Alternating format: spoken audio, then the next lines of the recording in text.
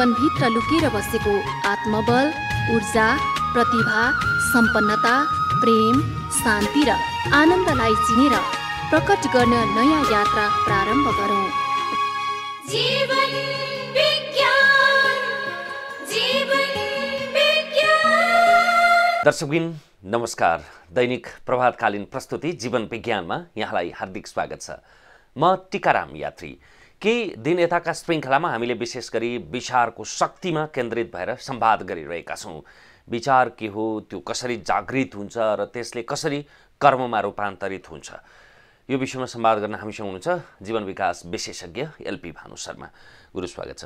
धन्यवाद। विचारको स्रोत र शक्तिको कुरा गर्दा मान्छेले बुझ्ने गरेको विचार अथवा विचार प्रवर्धनको विषयमा कुरा गरौँ।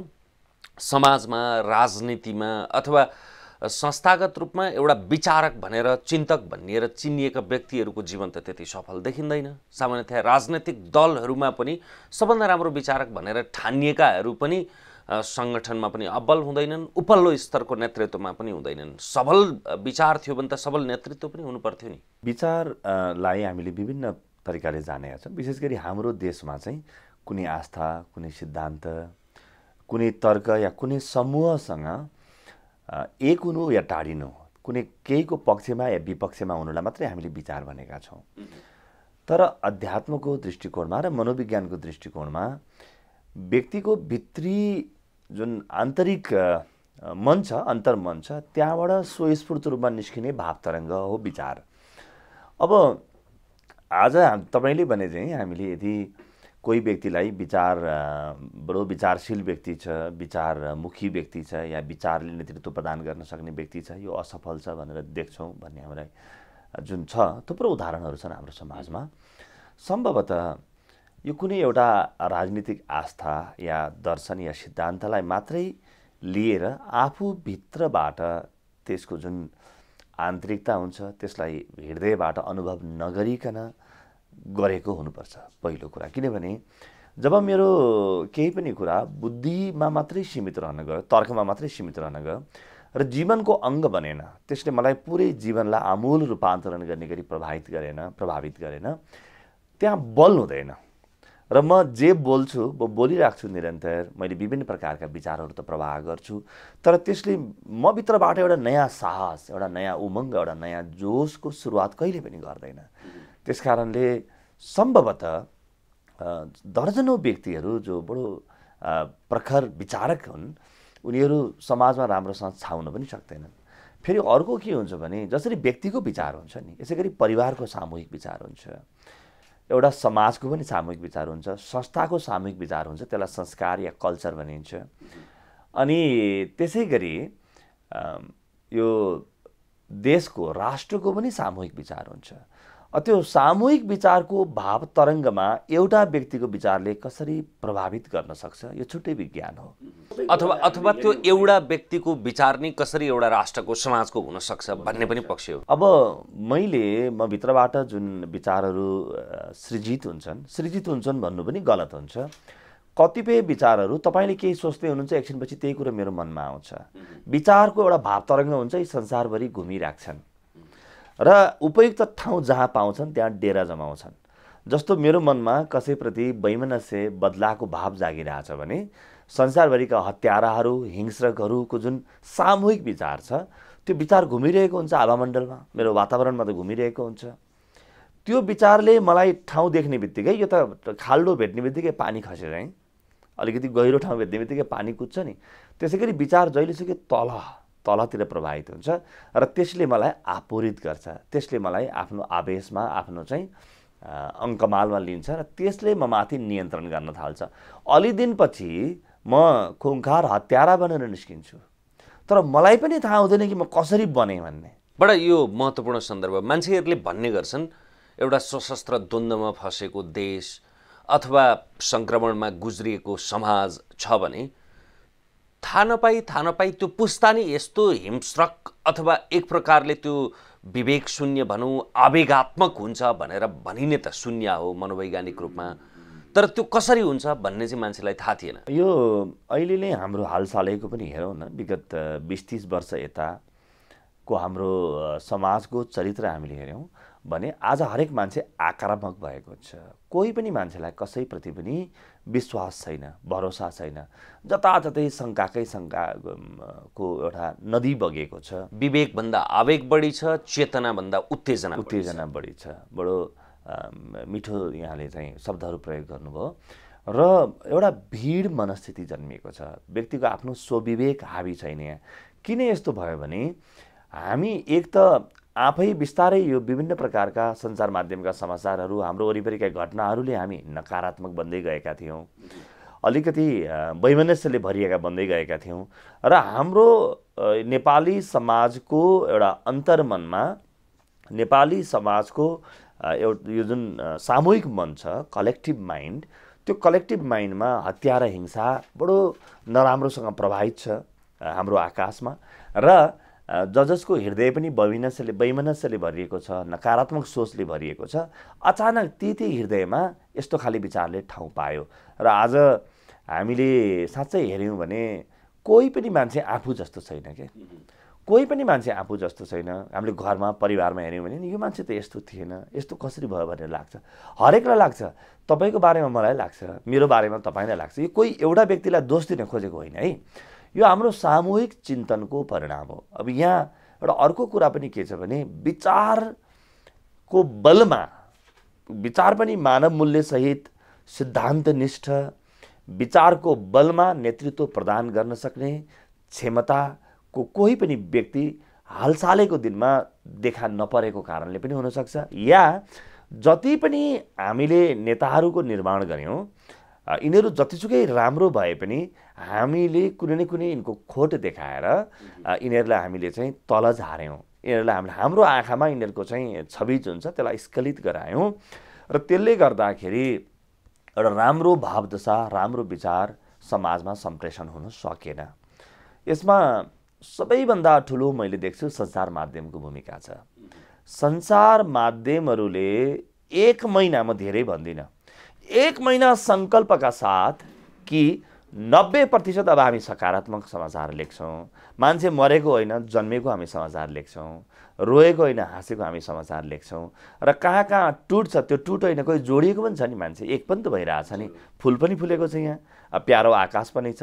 अहिले त बर्खा ऋतु हो। यो यो बेलामा त यो बर्खाको याममा त यो हरियाली जताततै छ पानी परेको छ खेती बाली लगाइरहेछन्। कुनै पनि दिन ल फलाना ठाउँमा यति राम्रो चाहिँ बाली लगाइयो फसल सफ्रियो भनेर। भनेर पनि समाचार आइरहेछ नि एक महिना हामी यो समाजको भाव तरङ्गलाई परिवर्तन गर्नको लागि रूपान्तरित गर्नको लागि सञ्चार माध्यमहरूले प्रयास गऱ्यौँ भने एक महिनापछि नै यहाँ सडकमा हिँड्दा कार्यालयमा जहीँ तहीँ एउटा फरक प्रकारको आभाव हामी पाउन थालिहाल्छौँ। सञ्चारको एउटा बाध्यता के हो भने यसको उद्भव नै विश्वव्यापी रूपमा no news is good news भन्ने प्रचलन आज पनि त्यो बसीभूत छ त्यही त्यही सिद्धान्तमा। कुकुरले मान्छेलाई टोक्यो भने समाचार होइन। मान्छेले कुकुरलाई टोक्यो भने समाचार। अस्वाभाविकताभित्रको पनि नकारात्मक। नकारात्मकतालाई हामीले लिन्छौँ।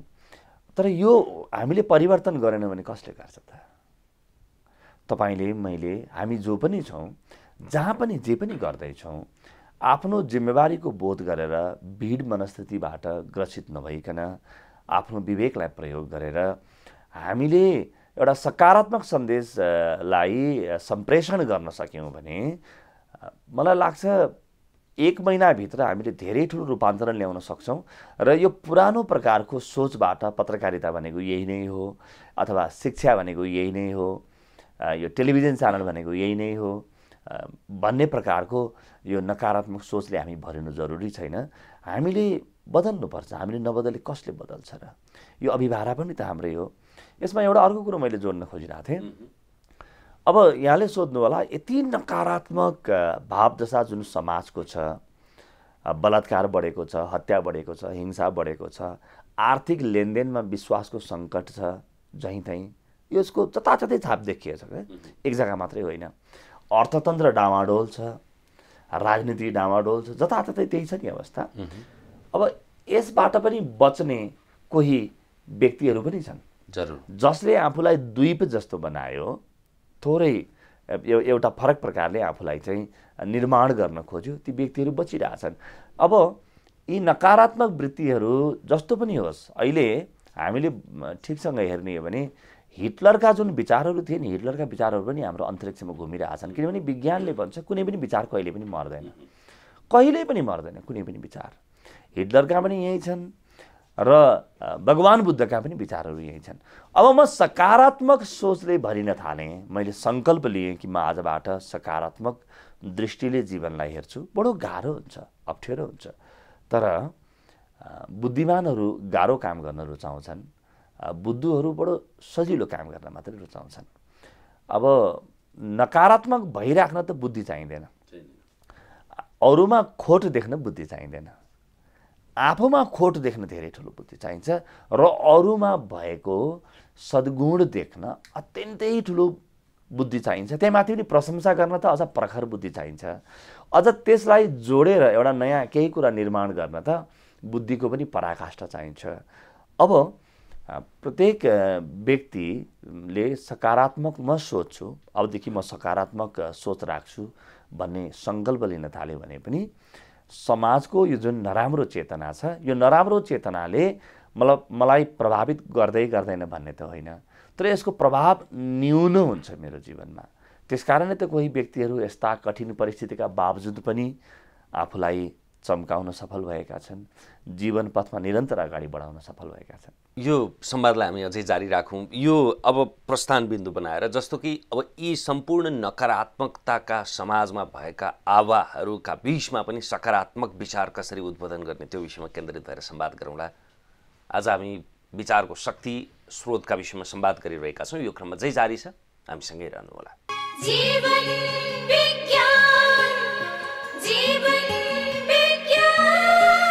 पुनः स्वागत छ। आज हामी विचारको स्रोत शक्तिमा केन्द्रित भएर संवाद गरिरहेका छौँ। नकारात्मकताभित्र पनि सकारात्मकता कसरी खोजी गर्ने कसरी पहिचान गर्ने?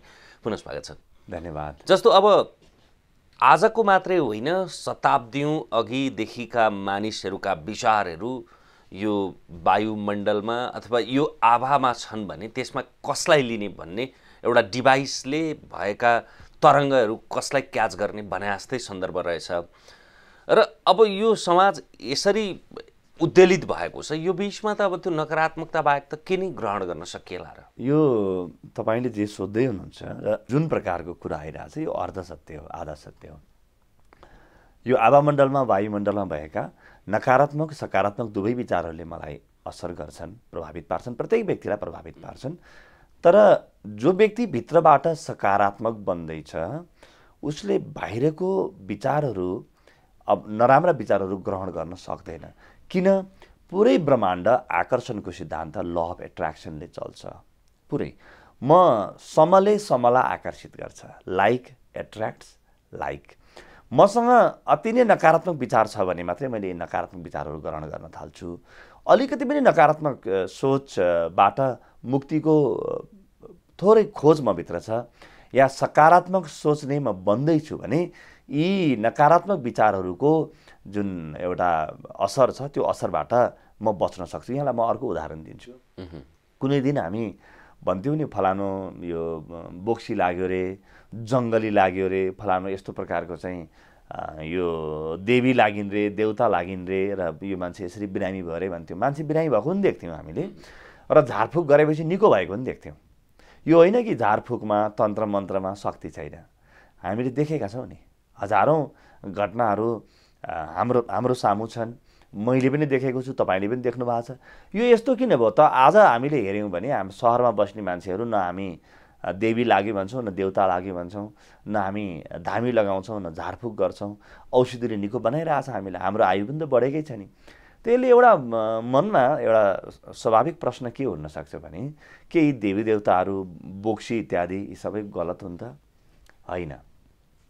यो के हो भने नि नकारात्मक सोचहरू जुन छरिएर बसेका छन् हाम्रो आवामण्डलमा यो नकारात्मक सोचलाई ग्रहण गर्न मान्छेलाई हामीले कमजोर बनायौँ भने नि यी मान्छेले कमजोर मान्छेले नकारात्मक सोच आफै ग्रहण गर्न थाल्छ। र अरूलाई बिगार्ने प्रकारका सोचहरू मेरो शरीरमा प्रवेश गरे मेरो मनमा प्रवेश गरे भने तिनले मलाई रोगी पनि बनाउन थाल्छन्। विक्षिप्त त बनाउँछन् बनाउँछन् मानसिक रूपमा। यो हृदयको रूपमा मलाई दुर्बल बनाउँछन्। मभित्र रहेको पुरै ऊर्जा पुरै शक्तिलाई क्षय गरिदिन्छन् र यिनको समस्या चाहिँ शरीरका विभिन्न अङ्गमा पनि देखिन थाल्छ। खप्तर बाबाले विचार विज्ञानमा बडो सुन्दर उदाहरण दिनुहुन्छ कि एउटा व्यक्ति जसले नकारात्मक विचार ग्रहण गर्यो त्यो व्यक्ति अलि दिन त उसले आफूले पनि थाहा पाउँदैन। केही दिनपछि उसको हुनसक्छ टाउको दुख्छ हुनसक्छ गला दुख्छ हुनसक्छ आँखा दुख्छ होला। र वर्ष दुई वर्षसम्म त्यो विचारलाई त्यहीँभित्र बोकेर राखिराख्यो भने त्यो नकारात्मक विचार भनेको रोग हो। त्यो रोग बिस्तारै शरीरमा देखिन थाल्छ। यसै गरी हाम्रो आवामण्डलमा जुन नकारात्मक विचारहरू थिए त्यस्तै विचारहरूलाई आकर्षित गर्न सक्ने मान्छेहरूको विकास गरेका थियौँ हामीले। र यो जुन चाहिँ बोक्सीहरू छन् देवी देवताहरू छन् यो जुन नकारात्मक सोच भएका भनौँ न तिनलाई हामी आकर्षित गर्थ्यौँ। तर आज त्यो खाले समस्या हामीसँग छैन। हाम्रो समाजको संस्कार बिस्तारै परिवर्तन हुँदैछ। अब होइन औषधिले नि- हामीले जति नकारात्मकता भने पनि संसारमा मानिसको विकास क्रमको अ, सापेक्षितता हेर्नु हो भने त रेसनालिटी नै बढिरहेछ नि विवेकशीलतै बढिरहेछ। हामी कहाँ नि बढिरहेछ। त्यस कारणले यी नक यी नकारात्मक सोचहरू पुराना प्रकारका नकारात्मक सोचहरू हाम्रो मनमा हावी छैनन्। तर हामीले फेरि अरू अरू नयाँ नयाँ नकारात्मक सोचहरू बनायौँ। अब फेरि पनि हामी मलाई लाग्छ यसको जुन मूल मुद्दा हो हामी त्यहीँ फर्क्यौँ। मभित्र जुन विचारको शक्ति छ त्यो विचारको शक्तिलाई मैले जुन दिशामा प्रभावित गर्न चाहन्छु त्यही दिशामा प्रभावित गर्न सक्छु। म आज जे छु मैले आज सङ्कल्प लिएँ। आज निर्णय लिएँ भने मेरो भोलि परिवर्तन हुनसक्छ म नयाँ पर्सि पनि देख्न सक्छु। अब यसमा थपौँ जस्तो अब यही विचारको शक्तिलाई आफ्नो अनुकूल अथवा त्यसलाई सकारात्मकतामा चाहिँ केन्द्रित गराउन सकिन्छ भन्दा यसलाई उदाहरणका रूपमा अघि मैले बिम्ब पनि प्रयोग गरेका थिएँ। हामी कहाँ भएका विभिन्न तरङ्गहरूमध्ये रेडियोको फ्रिक्वेन्सी ठिक लगाइयो भने आफूले सुन्न खोजेको रेडियो सुनिन्छ। टेलिभिजनको पनि रिमोटले ठिक किसिमको तरङ्ग केबल जोड्या छ अथवा अरू आफूसँग चाहिने उपकरण छ भने ठिकसँग त्यसलाई ट्युनिङ गर्यो भने त्यो ट्युन हुन्छ भने जस्तै अब यहाँ भएका मध्ये ठिकसँग त्यसरी ट्युनिङ कसरी गर्ने? यहाँ भएका जुन आवामण्डलमा भएका विचारहरूमध्ये मेरो लागि उपयुक्त विचार कसरी ग्रहण गर्ने भन्नुभयो नि? अघिकै कुरामा म फर्किन चाहन्छु like attracts like law of attraction अथवा आकर्षणको नियम। आकर्षणको नियम एउटा अकाट्य नियम हो। म यदि सकारात्मक बन्न थालेँ मैले भने म आजबाट धन सृजना गर्छु। म आजबाट राम्रो व्यक्तित्वको निर्माण गर्छु मैले भन्न थालेँ भने त्यस्तै प्रकारका विचारहरू मात्रै ममा आउन थाल्छन्। त्यस कारणले हामीले प्रत्येक व्यक्तिले रोज्नुपर्छ के? र रोज्ने क्षमता कस्तो हुन्छ भने नि पावर अफ चोइस जुन भन्छौँ नि त्यो पावर अफ चोइस अथवा चाहिँ मेरो रोज्ने जुन बल छ प्रत्येक व्यक्तिभित्र त्यसैलाई आत्मा भनिन्छ। र केही दिन अगाडि मैले एउटा शब्द प्रयोग गरेको थिएँ।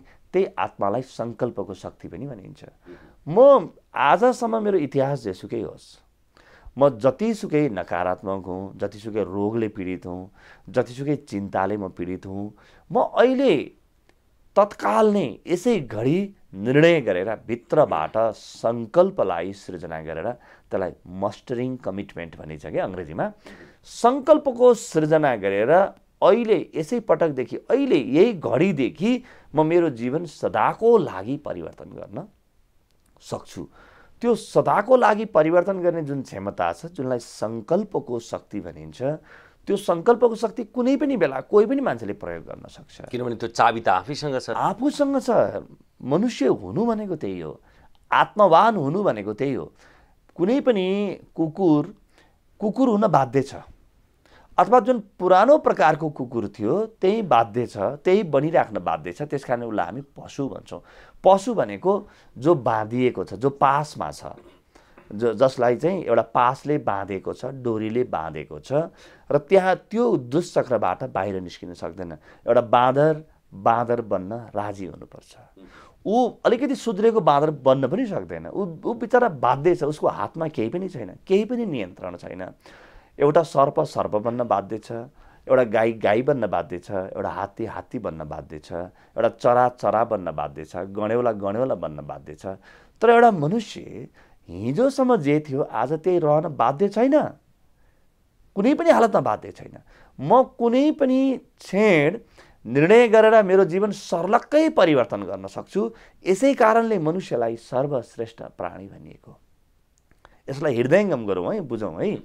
यसै कारणले मनुष्यलाई सर्वश्रेष्ठ प्राणी भनिएको हो। किनभने कुनै पनि बेला उसले पुरानो काँचुली छाडिदिएर सर्लक्क छाडिदिएर एउटा नयाँ प्रकारको चेतना लिएर अगाडि बढ्न सक्छ। यो पनि सङ्कल्पकै विज्ञान हो विचारकै विज्ञान हो र एकपटक मैले नयाँ बन्छु अबदेखि भन्ने सङ्कल्प लिएँ भने ममा नकारात्मक विचारहरू हाबी हुन गाह्रो हुन्छ धेरै गाह्रो हुन्छ। एउटा अध्ययन छ। डक्टर डेभिड न्युटनको। उहाँले के भन्नुहुन्छ भने जो व्यक्तिले आफूभित्रबाट सङ्कल्प गर्यो सङ्कल्प एकपटक दह्रोसँग गरिसकेपछि नकारात्मक विचार उसमा प्रभावित हुने सम्भावना केवल तिन प्रतिशत रहन्छ। थ्री पर्सेन्ट मात्रै रहन्छ। सन्तानब्बे प्रतिशत त हाबी नै भइहाल्छ नि। सन्तानब्बे प्रतिशत ऊ आफै जस्तो हुन्छ जस्तो चाह्यो त्यस्तै नै हुन्छ। जस्तो अब यो पशु र मानिस बिचको फरकको कुरा गर्दाखेरि त्यसलाई हामीले हेऱ्यौँ भने पनि मैले तपाईँले त्यो चर्चा गरिरहँदाखेरि मेरो मानसमा एक प्रकारको चित्र बन्यो। बाख्राहरू हेऱ्यौँ भने संसारका सबै बाख्रा उस्तै उस्तै लाग्छ। तिनीहरूले घाँस खाने तिनीहरूको व्यवहार तिनीहरूको हिँडाइ सबै कुराहरू। नेसनल जोग्राफी डिस्कभरीमा हेरे पनि बाघहरूको वृत्ति उस्तै उस्तै देखिन्छ। तिनीहरूले शिकार गर्नेदेखि लिएर सबै। संसारमा भएका सबै मानिस बाहेकका जीवजन्तुहरूले उनीहरूको आहार उनीहरूको व्यवहार उनीहरूको मैथुन उनीहरूको सुताइ सबै कुरामा तात्विक अन्तर हुँदैन। तर मान्छे हेरियो भने मान्छे त अफ्रिकाको र नेपालको मान्छे मात्रै होइन नेपालकै पल्लो घरको र ओल्लो घरको अथवा श्रीमान र श्रीमती दुईवटा छोरा बिचमा पनि कति धेरै अन्तर हुन्छ? खानपिन रहनसहन व्यवहार बानी सबै कुरामा। यसैले पनि देखाउँछ नि आफ्नो नियन्त्रणमा आफू छ भन्ने। त्यो पक्का हो। यो यहाँले भन्नुभयो अघि यो अहिले विज्ञानले के भन्छ भने पशु हुनु भनेको इन्स्टिक्टिभ नेचरबाट गाइडेड हुनु अरे। अथवा चाहिँ जुन एउटा प्रकृतिले दिएको एउटा स्वभाव छ त्यही स्वभावबाट चल्नु। मनुष्यसँग पनि प्रकृतिले दिएको स्वभाव छ। मेरो दुइटै हात मात्रै छन्। मसँग चारवटा हात छैनन् तिनवटा हात पनि छैनन्। प्रकृतिले मलाई सिमाना दिएको छ। प्रकृतिले मलाई केही रूप रङ आकार दिएको छ। तर यही दुईवटा हातको प्रयोग कसरी गर्ने भन्ने चाहिँ कुन प्रकारले प्रयोग? बन्दुक चलाउन प्रयोग गर्ने? मैले? कि मैले चाहिँ सितार चलाउन प्रयोग सितार चलाउन प्रयोग गर्ने? अब मैले चाहिँ यिनै खुट्टा हुन्। यी खुट्टाले मलाई मैले चाहिँ कसैको चाहिँ टाउकोमा हिर्काउन प्रयोग गर्ने कि फुटबल हान्न प्रयोग गर्ने कि मन्दिर लैजाने कि यिनी खुट्टालाई मैले मदिरालय लैजाने वेश्यालय लैजाने मैले यी खुट्टाहरूलाई कि मैले यी खुट्टाहरूलाई कुनै विद्यालय लैजाने त्यो मेरो आफ्नो हातमा छ आफ्नो नियन्त्रणमा छ। त्यस कारणले पनि विचार यति बलवान छ व्यक्तिको विचार यति बलवान छ कि व्यक्ति जे चाह्यो त्यही बन्न सक्छ। यो संसारमा मलाई कसैले विपन्न बनायो कसैले मलाई चाहिँ रात दिन दुःख दियो सतायो भन्नु बेकार छ। गहिरोसँग मनुष्यको अन्तर्मनलाई कोट्याएर हेर्ने हो भने क्वान्टम लेभलमा गएर हेर्ने हो भने प्रत्येक मनुष्य यहाँ साक्षात् सच्चिदानन्द बन्न जन्मेको छ साक्षात् परमात्माको अनुभूति गर्न जन्मेको छ। तर उसले आफूलाई अरू केही बन्न बाध्य बनाउँछ र बिस्तारै पुराना पूर्वाग्रहहरूबाट इतिहासबाट उसले आफ्नो लागि एउटा कारागृहको जेलको निर्माण गर्छ। यो निर् यो जेलको निर्माण गर्ने जुन वृत्ति छ यो वृत्तिबाट मुक्त हुनु नै पहिलो पटक मनुष्य हुनु घोषणा हो। त्यस कारणले हामी मनुष्यताको घोषणा गर्छौँ। र यो एउटा पात्रमा व्यक्तिमा मात्रै नभएर एउटा समुदायले एउटा स्कुल अफ थटले पनि त्यो अवधारणा पालिरहेको हुनसक्छ। अब यसलाई हामीले कुनै दिन जस्तो राजनीतिहरूले कस्तो खाले विचार लिएर आए कम्युनिजमले के गर्यो फासिजमले के गर्यो त्यसै गरी अब यहाँ चाहिँ राजतन्त्रात्मक व्यवस्थाहरू आए अनि गए यिनले के गरे प्रजातन्त्र कस्तो प्रकारको आभामण्डलबाट प्रभावित छ लोकतन्त्र जुनलाई अझ सुधारिएको प्रजातन्त्र भनिन्छ आखिर शब्दावलीमा फरक होला तर पनि कतै कतै एउटा फरक प्रकारको भाव तरङ्ग आउँछ हाम्रो हृदयमा लोकतन्त्र भन्ने बित्तिकै आहा भन्ने आउँछ। त यो कस्तो प्रकारको आवामण्डलबाट प्रेरित छ? बिलगेट्स कस्तो प्रकारको आवामण्डल लिएर हिँड्छन् होला? अल्बर्ट आइन्स्टिन कस्तो आवामण्डल लिएर हिँड्छ होला? र बिलगेट्सको ठिक विपरीत अर्को एउटा विपन्न व्यक्तिको आवामण्डललाई हामीले हेर्ने अहिले त क्यामेरा बनेको छ हेर्नुहोस्। हामी जे कुरा गर्दैछौँ यो कुरा कुनै सिद्धान्त होइन। दर्शन मात्र पनि होइन यो विज्ञान हो। अहिले क्यामेरा बनेको छ बिलगेट्सलाई अगाडि राख्नुहोस् र एउटा विपन्न व्यक्तिलाई अगाडि राख्नुहोस्। बिलगेट्सको आवामण्डल र त्यो विपन्न व्यक्तिको आवामण्डल पुरै फरक हुन्छ। अहिले त यहाँसम्म क्यामेरा बनेका छन्। तपाईँलाई त यो कुरा जानकारी नै होला कि अबको दुई वर्षभित्र कुन रोग लाग्न सक्छ त्यो रोगको बारेमा अहिले भनिदिन्छन्। क्यामेराले हेरेर त्यो फरक प्रकारको चित्र व्यक्तिको आभामण्डलको चित्र हेरेर भविष्यमा लाग्न सक्ने रोग भविष्यमा उसको सम्भावना सबै भनिदिन सक्छन्। ज्योतिष विज्ञानलाई अब फरक प्रकारको विज्ञानबाट पुनर्स्थापित गरिँदैछ। यो विचारको शक्तिको श्रृङ्खलालाई हामी भोलिको दिनमा पनि फेरि जारी राख्छौँ। अर्को कोणबाट यसलाई विषय उठान गर्छौँ। समय र संवादका लागि धन्यवाद यहाँलाई। यहाँलाई पनि धन्यवाद। विचारको शक्तिका केही श्रृङ्खला यता हामी विभिन्न जोड र कोणबाट संवाद गरिरहेका छौँ। जीवन विज्ञानको आजको श्रृङ्खला यति नै। आज्ञा दिनुहोस्। नमस्कार। आत्मविश्वास उमङ्ग र ऐश्वर्यको पथ। कर्मयोगको